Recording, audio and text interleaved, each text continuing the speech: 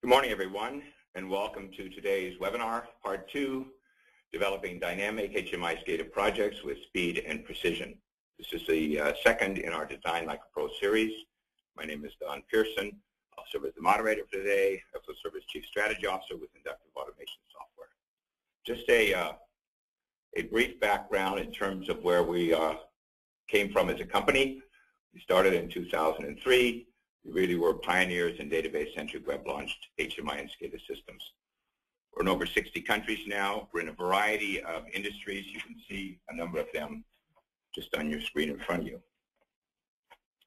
Additionally, last year, Inductive Automation was recognized by Oracle and Automation World for innovation. Oracle's Duke's Choice Award was awarded for innovative use of Java in the industrial software industry and Automation World Reader's Choice Award was awarded for innovation in SCADA information management.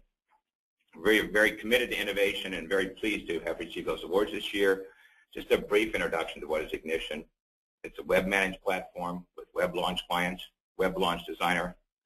And if you think about it, what can it do? HMI SCADA MES functionality, storing functionality using any SQL database, business applications, recipes and batch management functionality, practically anything that you can imagine it can do.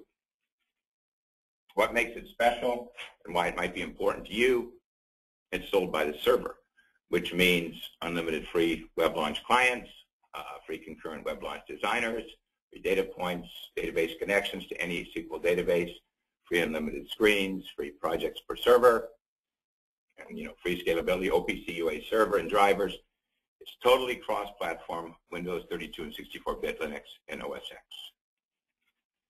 The Design Like a Pro series, we actually hear quite often from our customers about how they're using Ignition and they're doing very great creative projects with it. They're increasing productivity, getting great results in their organizations. And part of our mission is to offer the Ignition community the tools and support it needs to design great projects. And that's why we're offering this three-part series of webinars and white papers. And you can see, you know, we did part one already that's laying the foundation for successful HMI SCADA projects. And now we're going into part two today. Just a little bit of um, review and reminder those of you who are in the first one. In part one, in case you missed it, we covered uh, project planning phase, three major project development phases, questions you must ask to define your project, what makes up a solid project architecture, and how to create a plan of action. If you did miss it, you can go to the resources section of our website, and you can watch part one. And there's also a uh, downloadable paper that goes along with that. As we look at part two, in this webinar, we'll be covering important time-saving tips so you can develop dynamic HMI SCADA projects and do it with speed and with precision looking at it, what we see as the biggest challenges in developing a project is to avoid getting lost in endless and tedious development tasks. And here are some things that we'll cover today to help you develop projects more efficiently.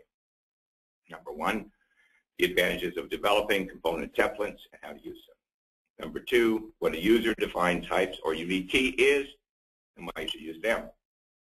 Number three, the power of using component templates and UDTs together and number four, what are parameterized windows and where to use them on your project.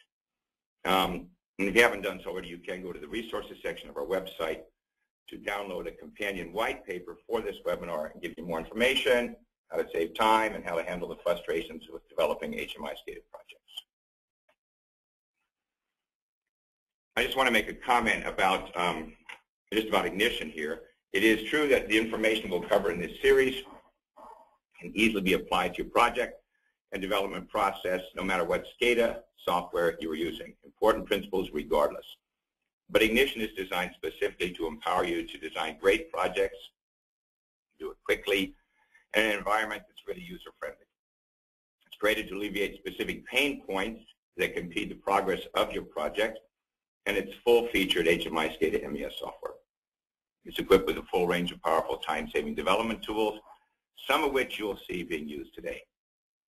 And really, I think if you if you get down to it, with unlimited tags, clients, connections, free concurrent designers, powerful object-oriented design environment, Ignition is a software that is designed to help you design great projects. The goal we have is to give you the power to stop wasting precious development time doing tedious, repetitive tasks so you can spend more time making your projects great. With that as a background, I want to get us into today's presentation. First, I'll introduce uh, Travis Cox. He's Director of Training and Support Services, and he's been teaching uh, our training courses since the very beginning. He's trained hundreds of people. So, Travis, could you just say something about your training courses and a little introduction of yourself? Hello, everybody. Yeah, again, my name is Travis Cox. I am the Director of Training and Support Services. And uh, I've been with the company since the beginning. I've trained hundreds of people on the Ignition platform. And we offer a variety of different training classes. One that it covers the uh, the core basics of Ignition. That's a five-day class. We also have a three-day advanced course. And we um, also have a course on our MES suite of modules for OEE and downtime. So just going to give you a little background there. Great. Thanks, Travis. And then Kevin, I'm going to introduce you, let you introduce yourself, and then you're going to take over from here. But uh, Kevin is our lead, des uh, lead design support engineer in Design Services Department. Design Services provides expert consulting for designing and implementing Ignition HMI SCADA projects. So Kevin, as you take over, just maybe introduce yourself a little bit and say just a bit about your team at Design Services and what you do. Sure. Thanks, Don. Our team over here at Design Services uh, with Inductive Automation, uh, we we do quite a range of things, um, but our main activity is just helping customers accomplish whatever they need to do with their projects. Um, I won't go into too many details there, but uh, pretty much if uh, someone has a problem or, or needs some help with one of their projects or wants some database design or project design, uh, we help out with that. Um, I'll get started here uh, on some of the meat and potatoes of this presentation. Uh, we've got three major project development phases. And this is kind of review. And the way of review, there are three main phases in the development process of an HMI SCADA project. Um, project phase one is planning, and our last webinar went over that some. Um, proper planning is vital to your project because it lays the foundation for your project success. That's really true. If you want to get some more information about this, you can go back to our last webinar. You can take a look at our first white paper on this subject and it has a lot of good information in there. Um, the second phase here, design, is kind of what we're focusing on in this webinar, and it's uh, the design phase is where all the pieces of the project are assembled, uh, and it really makes a big difference for your speed and um, staying on budget with the project too, um, how well your design phase goes. Um, project phase three, startup, uh, to finish your project, you must test and secure it, so that it's a success from day one. And it really makes, you know, th th that's going to be the focus of the third webinar because uh, it, it's really an important piece here too. Um, so we've been using an example project. Uh, this is Widgets Unlimited. Uh, and we're using Widgets Unlimited for all three of our webinars in our series here. Our sample project is from a manufacturing company. It makes widgets. and uh, let's say Widgets Unlimited called us and wants to use Ignition to help them make their manual process automated. So we'll focus here a little bit more on the project phase two, uh, since that's what this webinar is about. Uh, there are four main steps in the design phase. Step one is setup. Before you can begin designing your project, you need to establish all necessary connections in your design environment. Step two is layout. Before you start on all the components of your project, it's important to design the project's overall framework and navigation scheme. Step three, templates.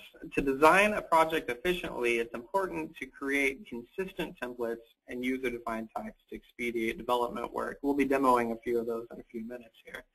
And for development, the last step is to assemble and link together all components and screens that make up the project. And you know, some of this is pretty straightforward and a little bit elementary, but uh, we'll be showing you some tricks to uh, save some time here. So step one, we've got setup. Before you can design anything, you have to set up the design environment. Uh, in this webinar series, we'll be using Ignition. I've mentioned it a couple of times here, but this stuff really applies to just about any design software that you're using. Uh, you don't have to be using Ignition. Ignition has some features that give you a little bit of uh, extra oomph, you know, that, that, that let you really design with a lot of speed, but some of the other HMI SCADA software projects uh, um, packages out there also have some of the same features. Um, and uh, we obviously like our software and going to promote it, but, but this is really universal stuff. Um, so continuing with step one here, uh, in the last webinar we covered information on how to uh, set up the design environment in Ignition. Download the last webinar if you need more information, as I said earlier. Here are a few tips to keep in mind when setting up the design environment. You, it's a good idea to keep a connection checklist uh, so that you have information for all the connections to your PLCs and databases. Um, tag organization, it makes a lot of sense to create a logical organization in your tag um, either on your PLC or in your SCADA software or in both. Um, and defining databases, it's, it's a good idea to really set up a uh, database schema if you're going to be doing any more advanced database work. Step two here is layout. Um, using the project architecture we created in the planning phase, it's possible to lay out the basic framework of the project. We covered the navigation in our last webinar, but here are some basic tips to create an effective navigation scheme. Consistency. Uh, you can keep the organization, placement, and display method for all the links in the same place on each page so users really have something to refer to and, and something to ground them as they go through the project, navigate through the different sections.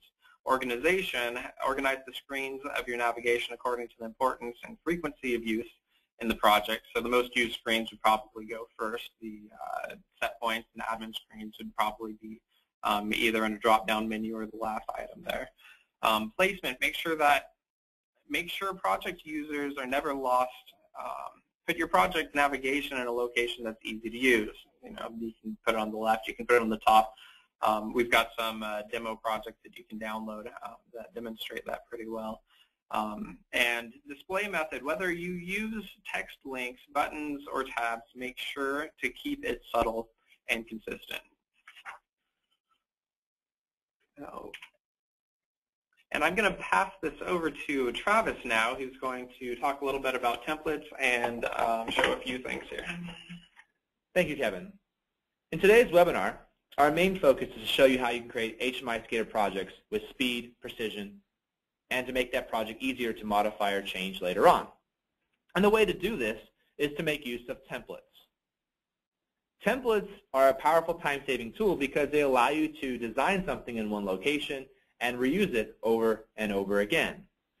There are different types of templates that are out there. We have UDT templates, which are user-defined types for the, the structure of tags that come from the PLC. We have visual or component templates, for things, for visual elements that you want to reuse over and over again. We also have parameterized or pop-up windows that you can make a detailed window for your tanks and motors, or you define that detail window in one place, and you can reuse it over and over again. It saves you from having to copy and paste, search, and replace. Almost every project out there has repetition in that it has 100, 100 tanks or 100 motors, and they're all the same. So the basic rule that you want to follow for templates is never do the same thing twice. If you find yourself doing copying and pasting and doing the same thing over again, well, you might as well take the time to make a template because it's going to help you save time later on when you're making changes to the project. Now, if you remember from going back to webinar one, we focused on the, the, doing the groundwork, you know, getting the navigation structure set up and getting connected to the PLCs and to the databases. Now that we have that, we can start focusing on creating the screens and actually getting that project off and running. So this is the project that we started, that we started with that has some basic navigation going. We're going to build onto this with the use of templates. And the first template that we're going to play with today is user-defined data types.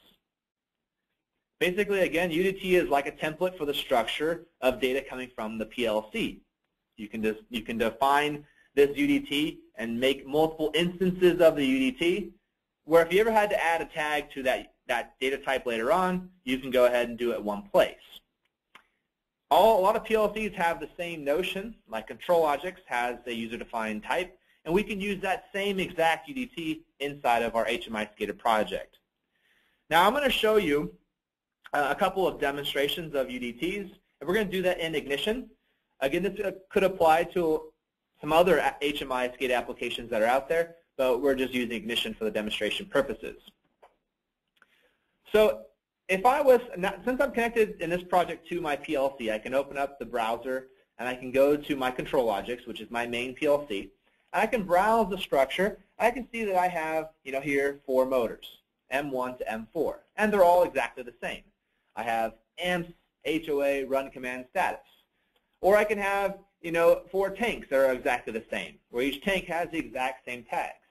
So in my ControlLogix, I already have these user-defined types set up. So I want to use the exact same user-defined type inside of Ignition. Over here in our tags database, uh, I have already created one data type, and that's the tank data type. If I was to right-click and edit this one, you can see here's the configuration of this data type. All the tags that are part of that data type are here. So this is the structure that we want to follow for the PLC. So I can create multiple instances of this UDT that will have the exact same tags inside of them because it comes from this structure. If I want to create a new one, I can simply drag the folder, that structure from the browser, into the data types, and it will ask me to create the type. I go ahead and create the type, and I'm going to make this thing generic now. Right now it's pointing to motor 1, but I don't want it to point directly to motor 1. I want it to point to, you know, make it a structure that's very generic, point to, to nothing essentially. So I'm going to create a, uh, the, the name motor. Each of my tags inside of it, I have amps, HOA, the run command status. Each of those are pointing to uh, a specific motor by the number here, motor 1. Rather than doing the hard-coded, again, I'm going to create uh, a data type parameter. So by adding a parameter, you can use that parameter throughout the structure. I can use it for the OPC item path, which is the path to the tag in the PLC. I can use it for expressions and values throughout the structure. So I'm going to create a new one here. I'm going to call this motor number. I'll make it a string, and I can come now to each one of my tags inside of the structure, and I can replace the one with the actual motor number. So motor number. Go down here to HOA. I can replace the one with motor number, and run command, do the same thing, replace it with motor number, and status. I can replace that with motor number. So now that all now my tags inside of the data, the UDT is, they're generic, and it's pointing to a tag in the PLC based on the motor number. So when I create a new instance of this UDT, I get to specify what that motor number is going to be. So we'll go ahead and press OK. Now I have my motor data type over here. Now it's time to create some actual tags.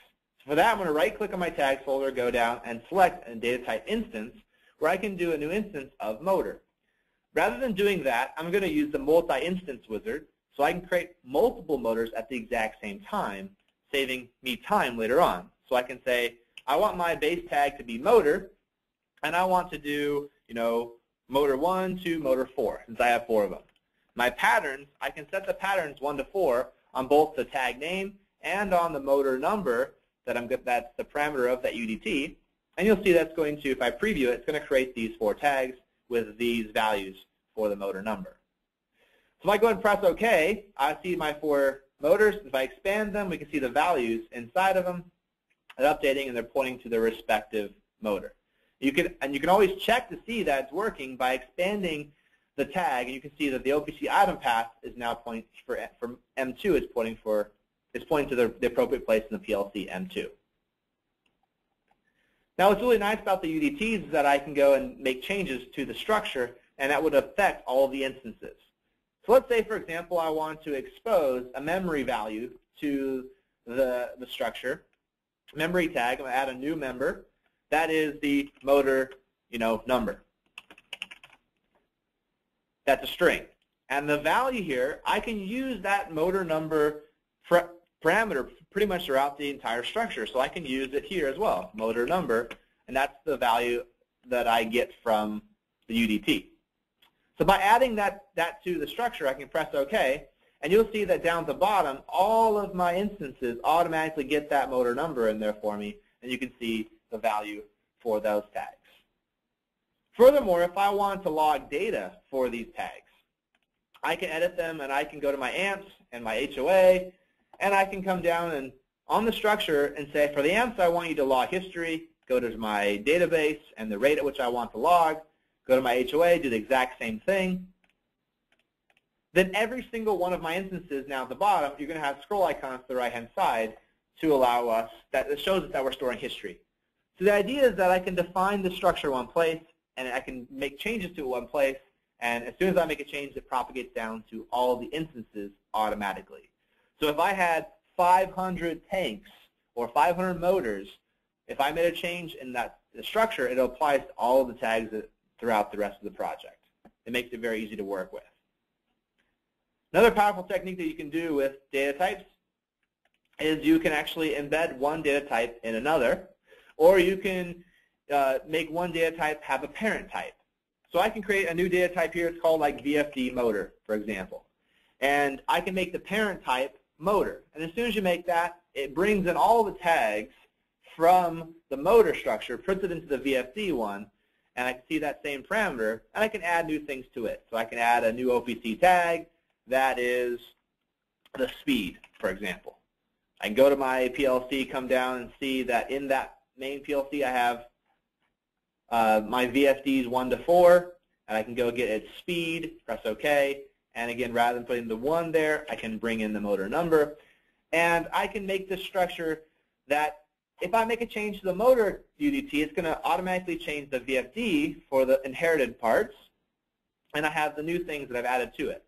Furthermore, you can go in and you can actually go to any of the motor tags, and I can override any parts of it. I can go and change the data type, change the item path, change the history. I can basically inherit and, and change the values of that base type. So now I have my motor and my VFD motor, and we can, again, we can put UDTs inside of UDTs, or we can do that inheritance. It makes it really easy to work with. Now the second thing that we can do, of course, with templates, besides user-defined types, is component templates or visual templates. And these are another real way you can save a lot of time because you can reuse them over and over again. And you can also, you have the ability with a lot of systems to nest one template into another. So you can start building your, your foundation that you're going to be using for all of your projects. So let's go back to our designer and show you how we can create some templates. And yeah, these are, we're, we're going to start building our screens really fast. I already have one template created. It's called tank. If I expand onto that, I can see here's the visual elements for that tank, and I can use that tank on my window. So once I develop this template, if I right-click, create a new template here, I can give that template a name. I can rename it to, uh, you know, template for right now. I can put whatever I want inside of it. I can put, you know, a, a tank and a label and an LED display, and I can use that onto my, on my window. So I can drag the tank, or the template, excuse me, onto my window. Go back to my control window one and drag in template onto the window. I can do it multiple times. Now the idea behind the template is that I can, if I want to make a change to it, I can go back into the template, and if I add another LED display or something to it, it'll automatically propagate down through all of the instances that I've used it in. Now, templates give you the ability to add custom properties to the template, just like you're adding properties to the UDT. So I can add a custom property that can be maybe the value, that's integer. And I can press OK. It shows up as a template pro property. I could bind, let's say I bind the tank's value to the value of the template. Then if I go back to my window, each of these templates now have a property down here for value, and I can change it to say 50 on this one,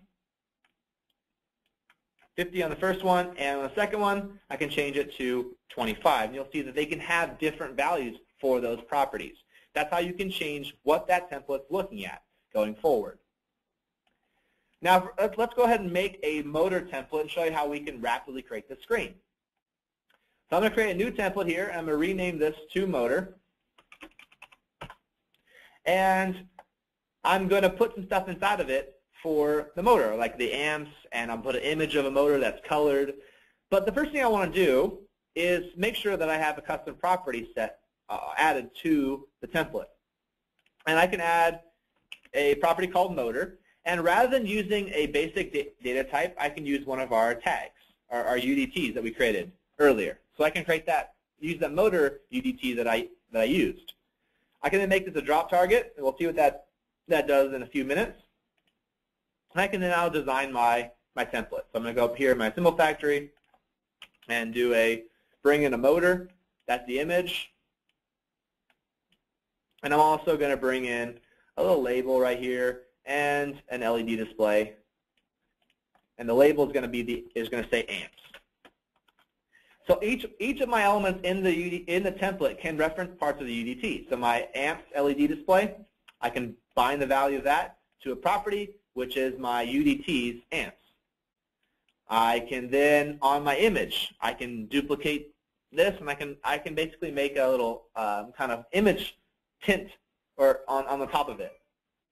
Or I can bind the fill paint to my property, which is the HOA, and I can do a number to color translation. The value is 0, I can make it red.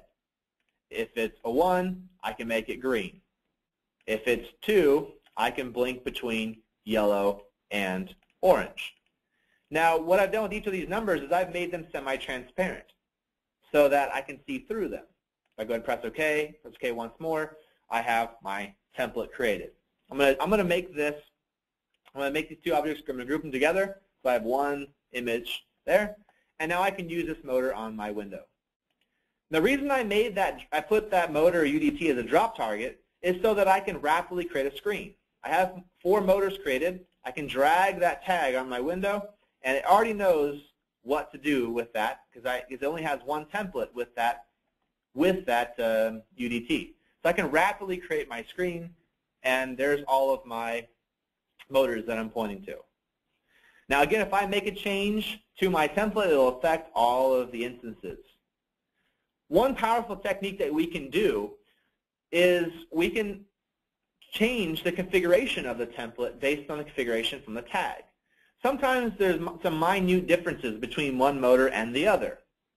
And so here we can, on our, on our uh, data type, maybe I want to show a different image if the motor is slightly a slightly different one.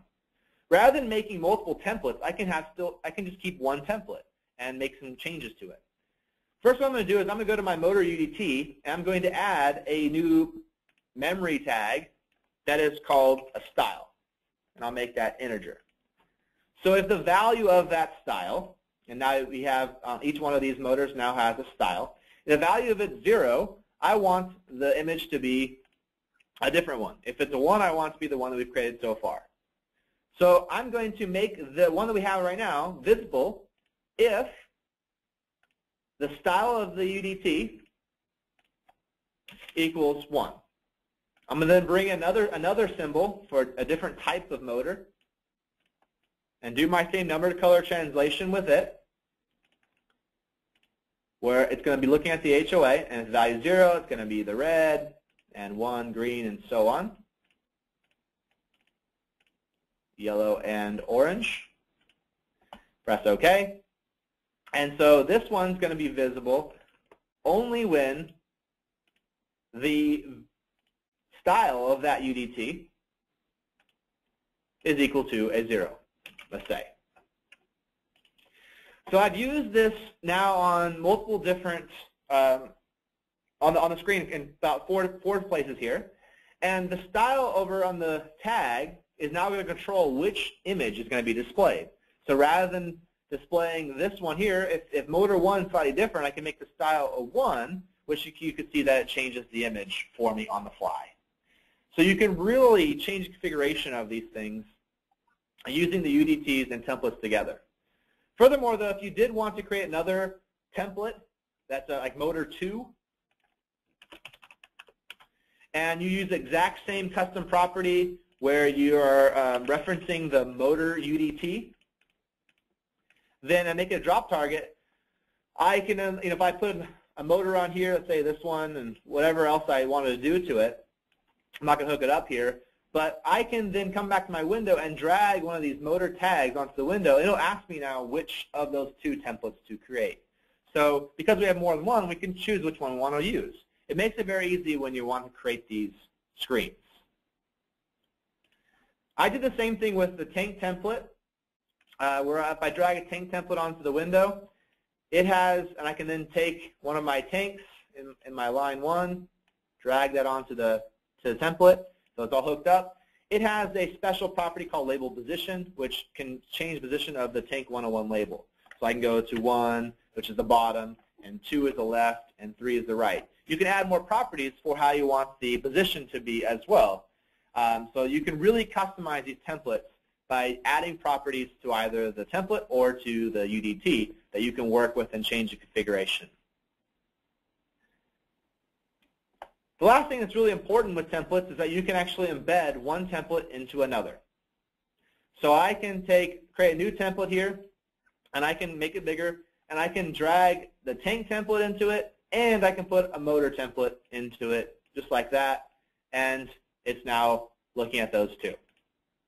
So if I was to make a change to the tank or to the motor, it would automatically update the new template, which would propagate out through everywhere I use it. It's much like putting a UDT inside of a UDT. So you can start seeing the power of being able to define something in one place and reuse it over and over again. The last thing we're going to show you with this demonstration is how you can make a detailed pop-up window, which would be a parameterized window where we can see more information about the motor, for example, or more information about the tank. Let's, let's do it with the motor. We want to be able to find more information about the motor when I double-click on the image, for example.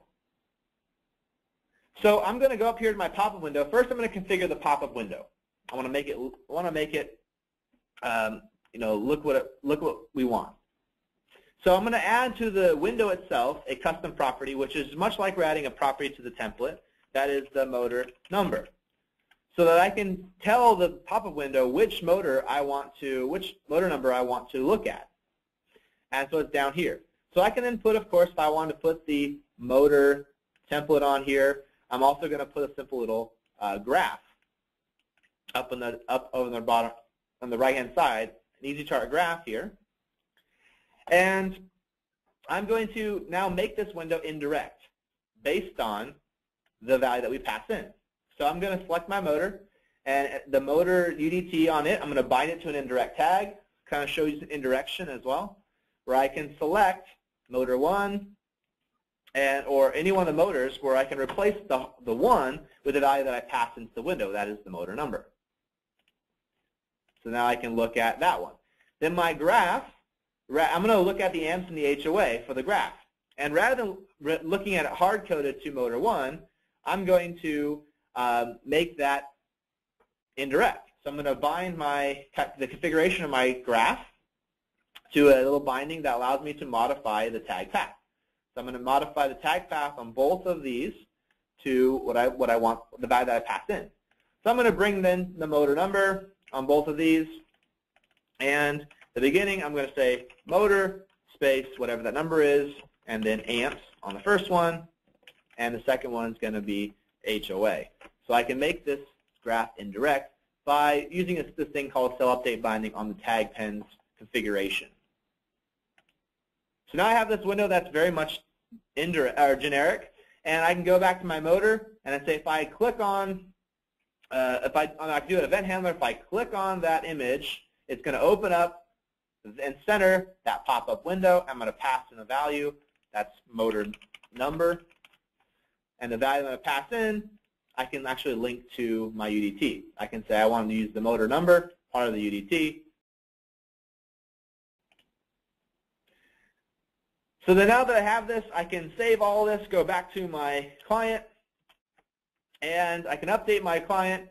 I can see all the stuff that I to the window, and of course I can click on this thing here to open up the pop-up window for more detailed information about that motor too, and I can get the graph and I can look at all the information, but I have one pop-up window for everything, rather than having um, to copy and paste and search and replace that window.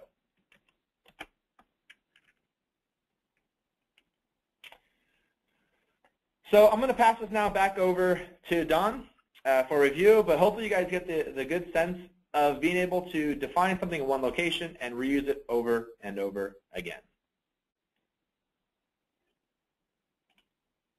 Um, and, and just in quick, quick review, obviously, uh, you need to design efficiently to ensure project success. Uh, time savers like what you saw, component templates, UDTs, and parameterized windows, they're really key to being able to develop your projects and develop them quickly. Uh, Ignition gives you the tools. Uh, as Kevin said, we, we may be slightly biased because we know Ignition can give you the tools to do it uh, extremely rapidly, extremely efficiently. Um, and that's what you need for project development time to be saved and to make your projects really turn out to be great. Uh, please take advantage of our resources section of the, uh, the website for more information uh, because as was said, the Design Like a Pro series is, um, there's a third part coming up uh, at the end of April, uh, but the, the companion white papers and this particular presentation today will be available to you so you can review them or share them with others. Um, in fact, Travis, can you just kick to the Q&A slide now and go once more so I can announce uh, the next web, the next one. Just I mentioned this, but you can note this down if you want to. On April 24th, 9 a.m. Pacific time, we'll be doing part three for Design Like a Pro series. Now we'll go back to the Q&A slide, and uh, it's over to over to you guys to give us the questions. I'll just start with a couple of overall general questions, and then we'll dig into the ones that are um, uh, that are ending up in the queue here. First, overall, just in terms of designing, how many people can design a project ignition at the same time? And Kevin, you you work with designers. Sure, yeah. We with the designer, you can actually have an unlimited number of people working on a project at the same time. So if you've got a design team of 10 people, all 10 people can be working on the same project, uh, work on different windows inside that project together, and then you can save it and update the project and see everything that everyone else is working on. Good, thanks. Uh, here's a question from Richard. If you make a change to an instant, does propagate back upward to other instances?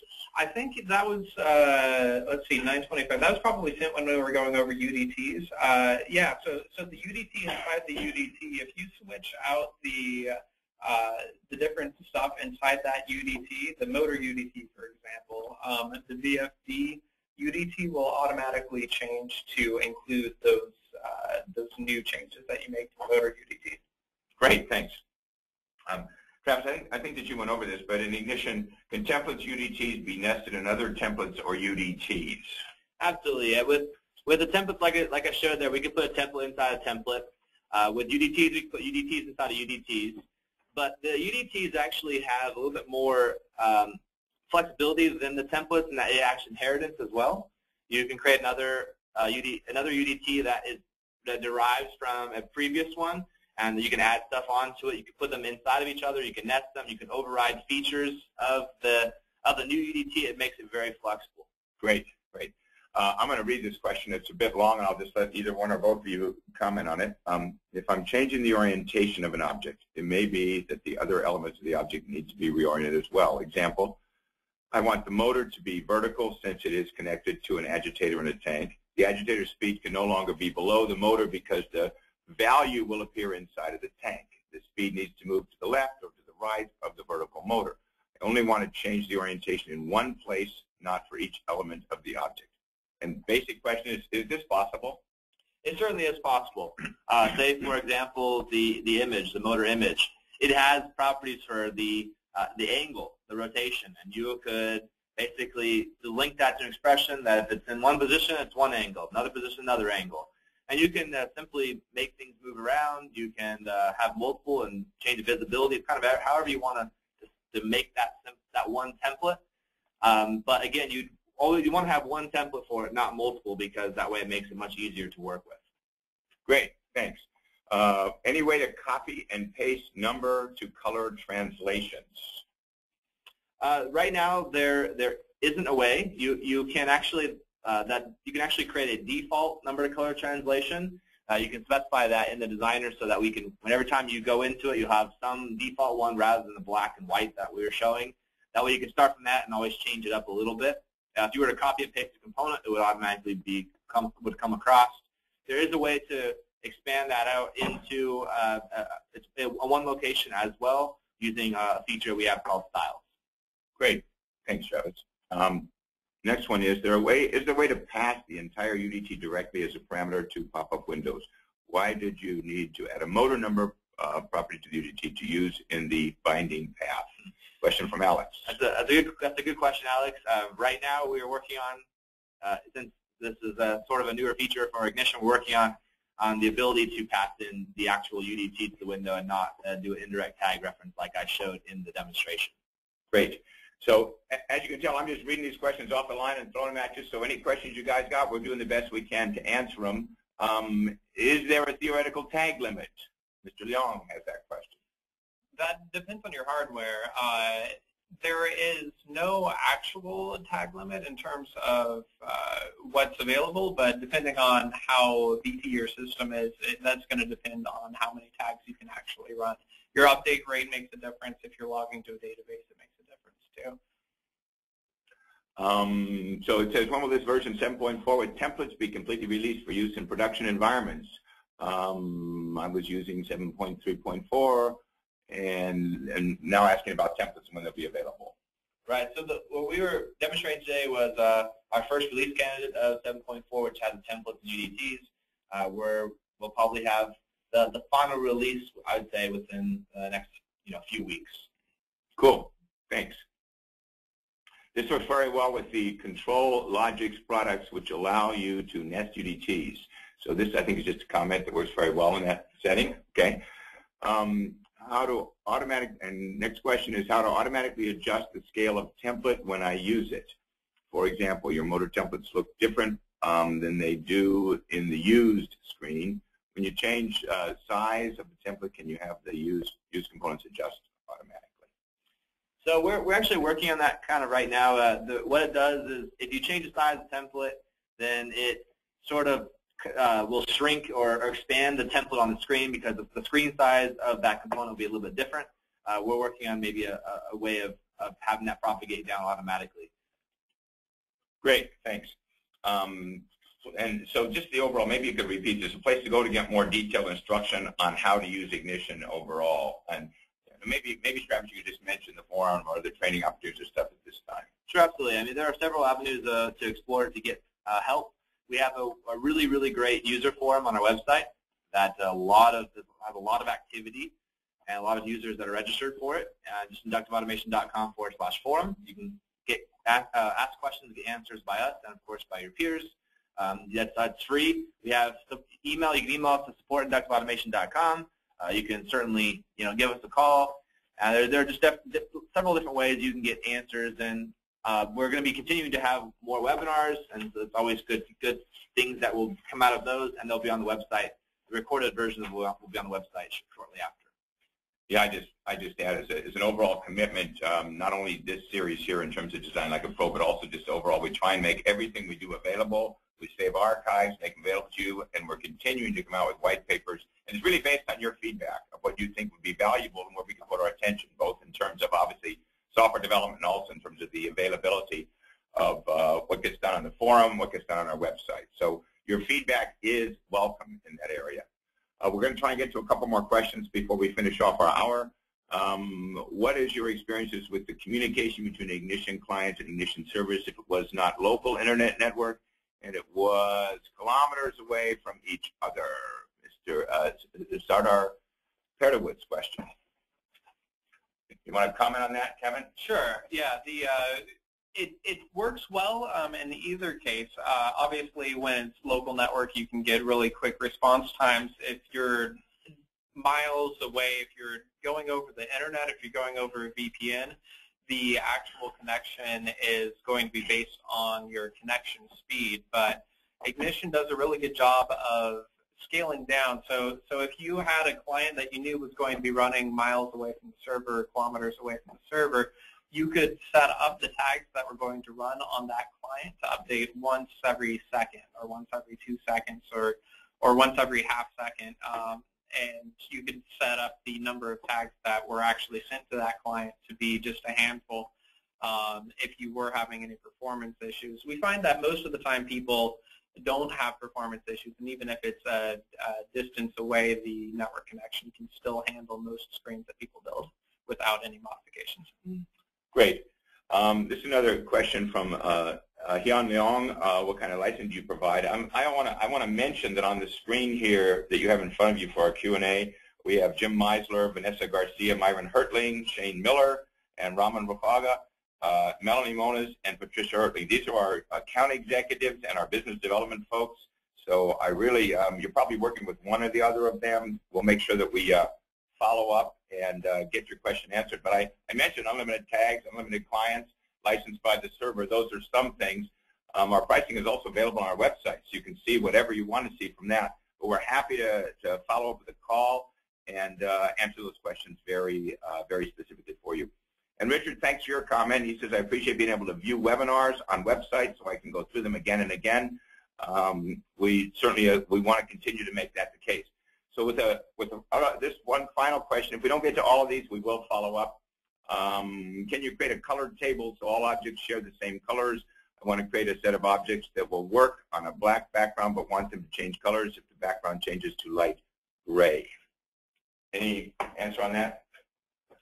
Kevin, you want to go ahead and answer? Sure, yeah. The uh, You can certainly store colors inside a database and then link items through, or you can set it inside a data set and then um, link items through. Uh, we've done that on some projects where where it'll actually be stored inside a database, and then based on some parameter, it will pull in a different color combination, generate that color for the background, um, or generate that color for the different items. Um, it's all done through the property binding um, and a little bit of scripting. Great, thanks. So we're, we're coming to the close of, um, of today's webinar. Um, not that you guys have to, but I want to give you a chance, maybe Kevin, to any final advice uh, to the to the end of part two of this thing. If you have it, fine. If not, that's okay too. Sure, just uh, get out there, um, have some fun with Ignition uh, or whatever your it's got a, a software is, but obviously, as, as said a, a, few times before, um, I'm a big advocate of Ignition. I think it's great. Um, but yeah, just just get out there, play with it some, uh, play with the new features, and uh, yeah, our, our forums are always open. Uh, we have a great support team over here, and uh, we're available, and we'd love to talk to you. Great, thanks, Kevin. Travis, any final final statements or comments from you on today's webinar? Sure. I just want to reiterate the point of, uh, I mean, the, the whole point of this webinar here uh, the demonstrations, we, we want to just do small demonstrations, give you an idea of what the concepts are, but the main thing is when you're developing your system, just sit down and sort of try to think of everything that, all things that are in common. And whatever, whenever you have, you you have things that are the same, you can generate templates, you can generate something in one location and go and, and reuse them over and over again. And if you were to do that at the beginning, I know people want to just jump into it because of time constraints, and they want to just get right to and get a get, the, get a product finished for their customer to start showing them stuff. Uh, that's all good, but if you can really plan it out and sort of um, write down on paper what's going on, it's going to help you save a lot of time later on uh, with, with when you come back to make modifications. Thanks, Travis. We'll come to the conclusion of today's webinar. I do want to say just from just from the team uh, here at Inductive Automation that your feedback is welcome uh, from today's webinar and as we go into the future, and we, we really are committed for you to be successful. So hope that comes across in today's presentation. I'd also encourage you to um, uh, schedule a demo and, uh, and dig in a little bit more further with your specific questions, your specific situation, let our team here give you an opportunity to really find out how we can be of value to you. So with that, uh, thanks so much for uh, your participation today. We look forward to seeing you in April with our part three of Design Like a Pro series. Have a great afternoon.